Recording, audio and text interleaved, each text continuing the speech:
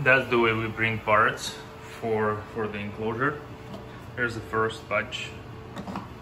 Um, I'm not using all of my printers yet so purchased tables.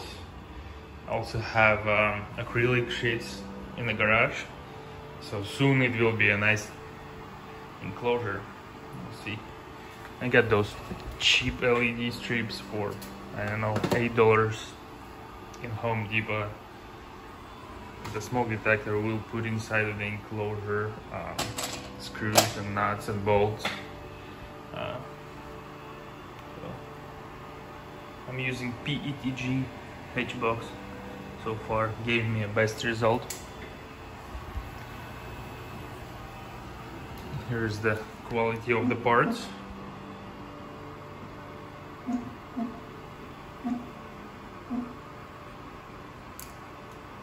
very interesting thing. Um, when I've been sourcing parts for Voron, I um, got in touch with those heat inserts on Amazon. They were like three dollars or something. They were not uh, good enough for Voron printed parts. They're smaller, but in this case, they fit perfectly. Uh, so that's what I probably use to mount panels. Um, I'm using my Hakko on 270 I tried 200, it is too low, too slow, and just regular tip, nothing crazy. So far I have three sets of legs. And I have one more set to go waiting for it. Um, one thing I learned hard way, do not over tighten those. If they are going too hard, they will break. I use super glue and heat gun, perfectly fixed it, it looks fine. This one also cracked, but super glue were able to fix it. Um, also, uh, one more thing about that specific side, whereas the bottom of the feet, they use harder wood and we're uh, kind of screwing too close to the edge. When you're screwing too close to the edge, the wood is popping out. It makes this part not to be seated flat. What I recommend drilling holes. Place the part, mark the hole, drill a hole. That, that way um, you will screw, you will remove excess of the wood out of there. I'm using smaller drill, very tiny one, it's like I don't know few millimeters but it helps big time. It also helps for screws to not go upwards or downwards. So that's one of the things I learned assembling this one. So here's assembled thing. You have to put panels together and that's pretty much it. You should see what's gonna happen next. Acrylic sheet looks like that that's one we will put on the front side with a handle.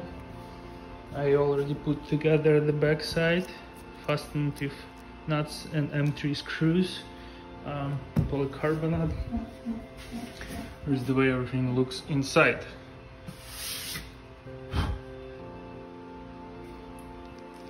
Coming closer and closer to the end. And that's how everything looks assembled I need to add LED strips to the project. And magnets for the door to close.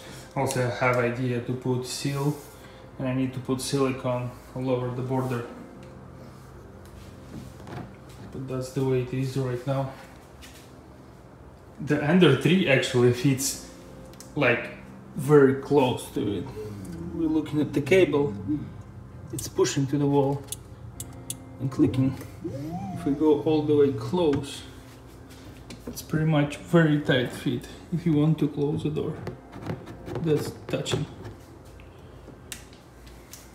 For hinges, I just use piece of filament. I pushed it through and bent it. That is whole thing. Uh, for magnets, I use super glue here and in the bottom. Holds well.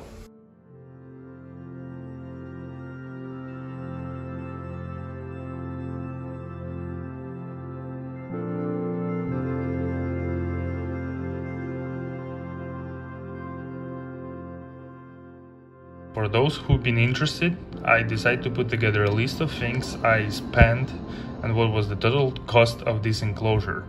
Um, I spent 40 hours of printing uh, with PTG 400 grams. Uh, with all the time and electricity, it's about $10.